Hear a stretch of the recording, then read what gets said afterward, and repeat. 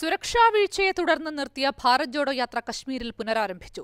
രാഹുൽ ഗാന്ധിക്കൊപ്പം മെഹബൂബ മുഫ്തിയും പ്രിയങ്ക ഗാന്ധിയും ഒപ്പമുണ്ട്. സമാപന ദിവസം കൂടുതൽ സുരക്ഷ ആവശ്യപ്പെട്ട് കോൺഗ്രസ് അധ്യക്ഷൻ കേന്ദ്ര ആഭ്യന്തരമന്ത്രി അമിത്ഷായ്ക്ക് കത്തയച്ചു. ഇന്നലെയുണ്ടായത് വലിയ വീഴ്ചയാണെന്ന് കോൺഗ്രസ് വക്താവ് ജയറാം രമേശ് ഏഷ്യാനെറ്റ് ന്യൂസിനോട് പറഞ്ഞു. ബിനുരാജ് തയ്യാറാക്കിയ റിപ്പോർട്ടിലേക്ക്.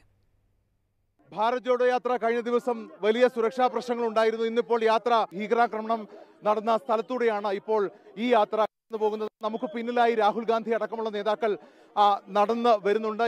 ഇന്നലത്തെ സംഭവത്തിന്റെ പശ്ചാത്തലത്തിൽ ഇന്ന് പഴുതില്ലാത്ത വിധം സുരക്ഷാ ക്രമീകരണങ്ങൾ ഏർപ്പെടുത്തിയിട്ടുണ്ട്. കേന്ദ്രസേനയെ ധാരാളമായി വിന്യസിച്ചിരിക്കുന്നു.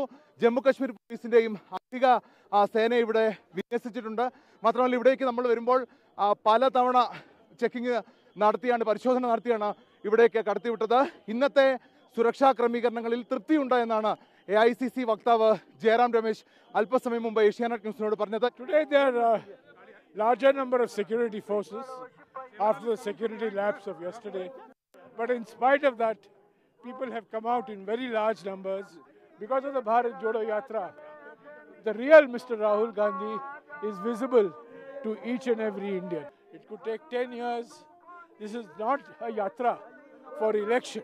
എന്തായാലും സുരക്ഷാ ക്രമീകരണങ്ങളുടെ ഈ രീതിയിൽ മുൻപ് വരുമ്പോൾ മുപ്പതിന് നടക്കുന്ന സമാപന സമ്മേളനത്തിൽ വലിയ സുരക്ഷ ഒരുക്കണം എന്ന ആവശ്യം കോൺഗ്രസ് അധ്യക്ഷൻ മല്ലികാർജുൻ ഖാർഗെ ഉന്നയിച്ചിട്ടുണ്ട്. അതുകൊണ്ട് വലിയ സുരക്ഷ ഒരുക്കണമെന്നുള്ളൊരു ആവശ്യമാണ് മുൻപോട്ട് വെച്ചിരിക്കുന്നത്.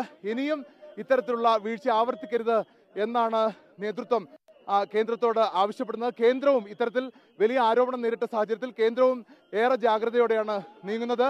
വസീം സൈദിക്കൊപ്പം കശ്മീരിൽ നിന്ന് ബിനുരാജ് ഏഷ്യാനെറ്റ് ന്യൂസ്.